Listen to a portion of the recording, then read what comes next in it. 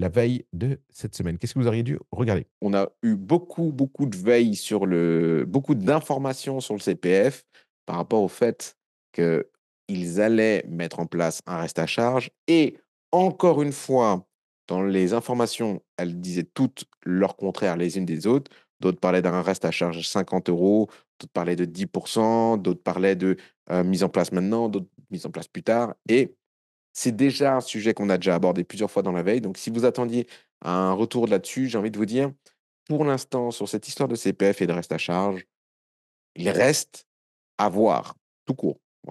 Donc c'est-à-dire que en fait, ils sont encore tous en train de se tirer dans les pattes, encore tous en train de chercher la bonne copie à avoir pour, heu heu, comment ils vont implémenter ce reste à charge et combien ça va être.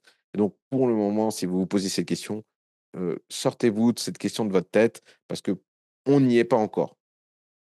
Par contre, heu, il y a eu des questions qui sont venues et heu, j'ai trouvé des articles, intéressants sur comme le CPF, qui sont sortis dernièrement, sur cette question récurrente que nous, on a de la part de nos clients et qu'on entend ou qu'on voit aussi sur les réseaux sociaux et dans lequel il faut faire très attention. CPF, est-il possible de céder ses droits à la formation à un proche? Souvent, il y a des clients qui nous disent: «Oui, alors mon conjoint, il a tant de fonds sur son CPF, heu, moi j'ai un ami qui est d'accord de me donner son CPF». Voilà, alors c'est systématiquement un non de notre part et sachez que vous, si vous, voulez faire ça ou si vous avez des gens qui veulent, heu, qui vous demandent d'utiliser leur propre fonds de formation, des fonds de formation de quelqu'un d'autre pour acheter votre propre formation, vous, ben, vous devez dire non parce que c'est interdit et cet article l'explique très bien, je vais vous le mettre en lien ici. Déjà, au-delà du fait que ce soit illégal, hein, heu, le droit de formation, heu, le CPF, c'est un fonds personnel, compte personnel de formation. Et donc dans ce cadre-là, ça doit être utilisé que par vous-même. Et sachez que vous, en tant que formateur, si vous acceptez que quelqu'un d'autre utilise ses fonds pour acheter votre formation, les fonds de quelqu'un d'autre pour acheter votre formation, vous, vous vous exposez à ce qu'on appelle du détournement de fonds de formation. Et la personne s'expose à rien. À l'heure actuelle, malheureusement, heu, la politique de contrôle n'est pas contre les usagers qui utilisent mal leur CPF, mais elle est contre les centres de formation qui laissent les usagers mal utiliser leur CPF ou le CPF des autres. Par exemple, vous pourriez avoir des gens qui s'inscrivent à votre formation avec un fonds de formation de quelqu'un d'autre sans que vous soyez avertis vous-même et ben, c'est vous qui êtes le responsable et c'est vous qui aurez une amende. Donc en fait, cet article-là, il est intéressant parce qu'il rappelle la règle du fait que le fonds de formation CPF est individuel et personnel et donc heu, on ne peut pas utiliser le fonds d'un autre et peut-être peut-être, en tout cas, c'est pas le cas à date, mais peut-être que plus tard, il y aura, comme pour les congés payés, la possibilité de les transférer à quelqu'un d'autre, mais c'est pas le cas. En tout cas, actuellement, l'article a été publié le 20-02 et il a été rédigé par France Info et alors j'ai pas le nom du journaliste, heu, qui l'a rédigé, ce qui est dommage, mais voilà, en tout cas, pour faire un point à date sur le CPF, il n'est pas transférable donc si quelqu'un vous vous parle de le transférer, eh bien, ce n'est pas possible. Et alors, j'ai sélectionné juste 2 articles sur la veille métier que je vais vous donner, heu, qui sont là plus pour nourrir votre réflexion. Alors, il n'y a rien à en tirer dans le cadre de la veille Calliope?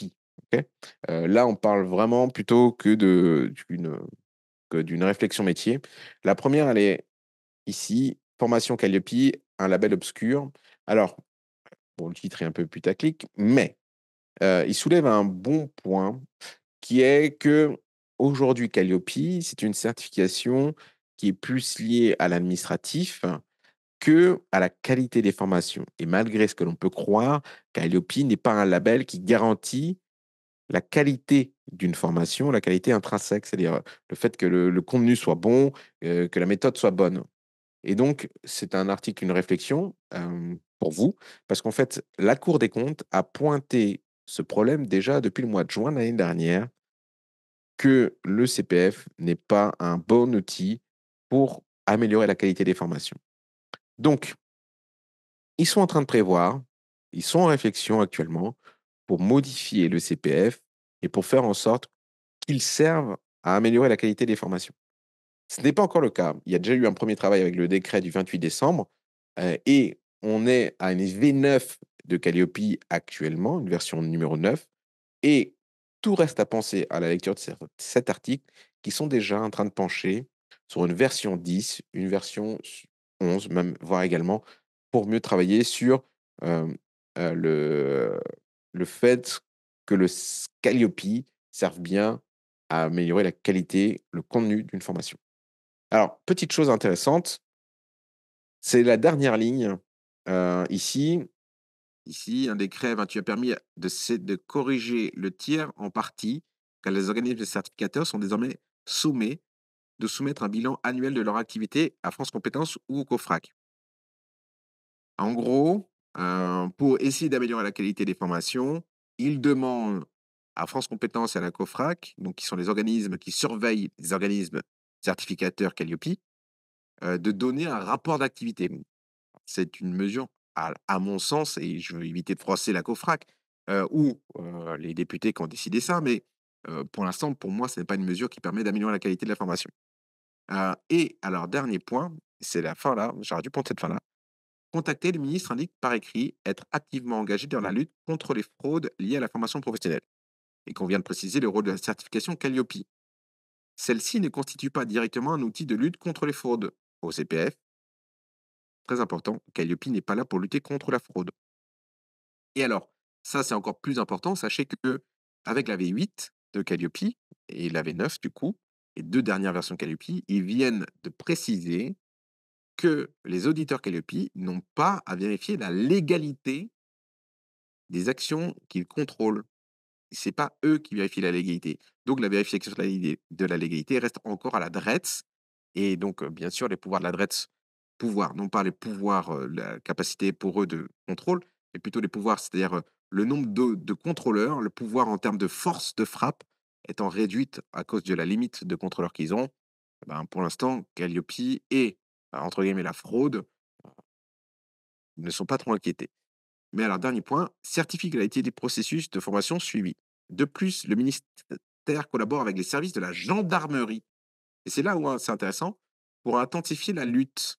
C'est-à-dire qu'avant, pour le contrôle, heu, de la fraude à la formation, heu, seule la DREETS actuellement était active.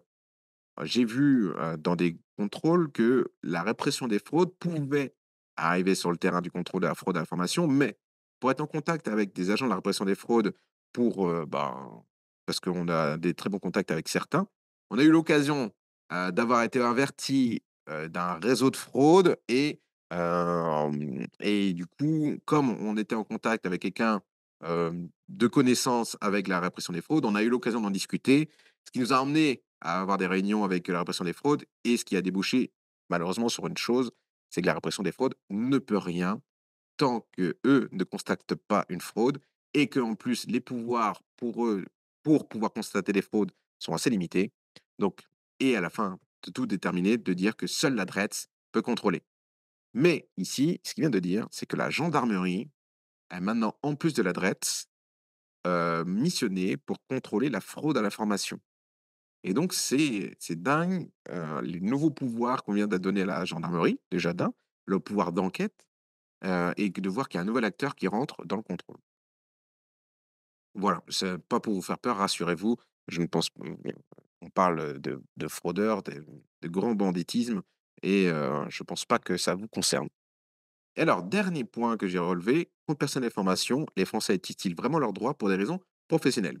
Et alors là, pareil, encore une fois, alors j'aurais peut-être peut-être dû le mettre dans l'aspect, juridique, la veille juridique, parce qu'ici, c'est plutôt une leçon à vous à faire très attention, parce qu'ici, il parle non pas des formateurs, mais l'article met en avant Thibault Deléaz, heu, pour le compte du Figaro, fait un article, disant qu'il y a une étude faite par la DARES où une partie des Français expliquent qu'ils achètent des formations avec leur fonds de formation CPF, non pas à des fins d'amélioration, professionnelle, mais plutôt à des fins personnelles. C'est-à-dire un achat de formation, en pour, heu, par exemple, le permis de conduire. On voit beaucoup en ce moment, vous avez peut-être entendu ou vu des articles, en ce moment, il y a beaucoup de ventes de formations par le CPF pour le permis moto et et donc c'est là, en ce moment, c'est la grande mode de la formation permis moto par le biais du CPF. si bien que même, ils sont obligés de limiter le nombre de de formations, de de réduire la cadence sur la validation des formations pour le permis moto, tellement il y en a une forte demande. Parce qu'ils viennent de permettre d'autoriser l'utilisation du CPF pour le permis moto. Alors, même si l'article ne vise pas les formateurs, la leçon que vous devez en tirer, elle est que heu, les gens, dans un cas sur 5, utilisent leur fonds de formation pour des raisons purement personnelles. Mais vous, en tant que formateur professionnel avec Calliope, vous avez l'obligation de, heu, analyser le besoin des gens. C'est l'indicateur 4 Calliope et donc d'analyser la raison pour laquelle ils achètent leur formation. OK? Et en conséquence, vous êtes responsable de l'utilisation du fonds de formation par votre client et ce qui crée chez vous, heu heu, ben, du coup, comme vous êtes formateur professionnel, vous devez vendre des formations dans un objectif d'acquisition de compétences professionnelles. Donc d'un, heu, vous n'avez le droit de vendre que des formations dont l'objectif est professionnel et vous devez contrôler que les gens achètent bien une formation dans l'objectif professionnel. Si ce n'est pas le cas, eh bien, vous faites ce qu'on appelle du détournement de fonds de formation. Donc ici, l'article, est intéressant, c'est de voir qu'il y a un client sur 5 qui n'achète pas une formation dans un objectif professionnel.